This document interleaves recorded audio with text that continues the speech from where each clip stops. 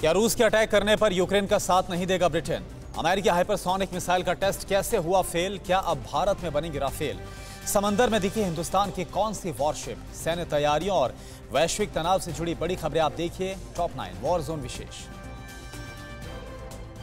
Project P fifteen B के तहत तैयार भारतीय नौसेना की स्टिलत डिस्ट्रॉइड की पहली झलक सामने आई है। मोरमुगांव डिस्ट्रॉइड का आज पहला सी ट्रायल हुआ। मोरमुगांव भारत में बनी आधुनिक युद्ध शिप है। इस दूसरी आईएनएस मोरमुगांव को 2022 तक नौसेना में शामिल किया जाएगा।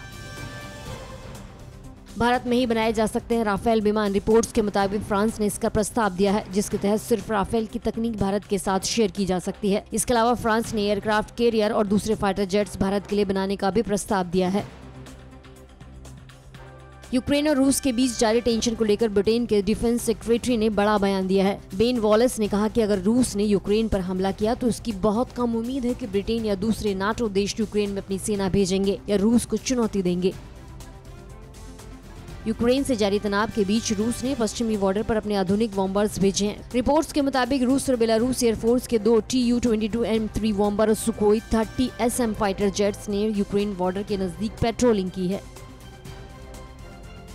सीरिया में ब्रिटेन की रॉयल एयरफोर्स ने दुश्मन के ड्रोन को मार गिराया। ये पहली बार है जब रॉयल एयरफोर्स ने ऑपरेशन शेडर के तहत एयर टू एयर फाइट में दुश्मन पर हमला किया है। ऑपरेशन शेडर आईएसआई के खिलाफ ब्रिटेन और अमेरिका की संयुक्त मुहिम है।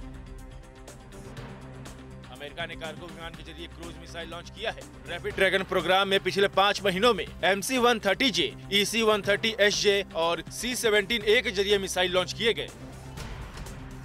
अमेरिकी एयरफोर्स द्वारा किया गया हाइपरसोनिक हथियार का परीक्षण फेल हो गया है। रिपोर्ट्स के मुताबिक एजीएम एक ए मिसाइल को बी वामन एच बॉम्बर में अटैच कर टेस्ट किया जाना था, लेकिन मिसाइल बिंग से अलग ही नहीं हुई। ये तीसरी बार है जब एजीएम एक सौ तिरासी की टेस्टिंग में गड़बड़ी हुई है।